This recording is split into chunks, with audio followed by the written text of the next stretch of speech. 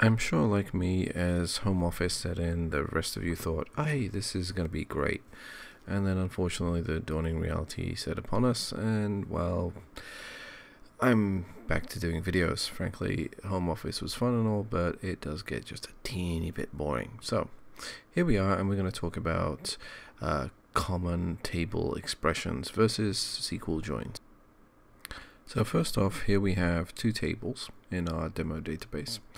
And what we're going to do is we're going to attempt to join the information from these two tables, which should in theory be a relatively simple and straightforward task. So first of all, we have instances, we have life cycles, and we have nodes. So nodes and instances are not the same thing, although they are the same thing, they're just named differently in column values. And then we have a few additional columns like uh, unique identifiers versus databases.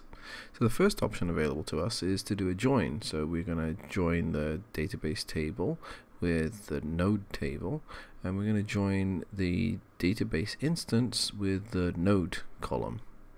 So that seems like a relatively straightforward join. We're going to do a left join and we're going to see what the output is. And as you can see, we've got a null value here. And the reason we've got a null value is because between our two tables, there is not exactly the same content. So here we have a DC um, northeast dot d so that's gonna throw a null value because it doesn't match exactly with the other table and this is kind of like where common expressions comes in handy. There is another way of doing this, by the way, but we're going to use common expressions in this case. So common table expressions allows us to use the select replace option and remove that D from the column. So you can see here if I just do a quick select based on that, the, the D is gone and then we can still join that with our other table. Now I didn't need to create this as a separate table, but in this case I decided to do so because I want to show you some other options that can be done later. And then finally we take these two created tables, or the, the common um, table expressions in this case, and join them together at the end.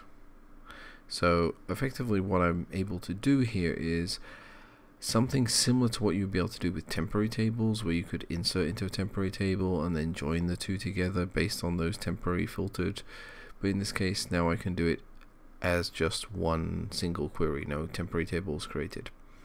So the first one here we can see everything is joined together which is perfect. That's exactly what we wanted. And there's no nulls. So I can also now add to the second part of this. So I'm going to add to the life cycle.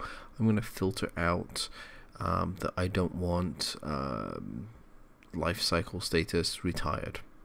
So now I should only get those that are currently deployed.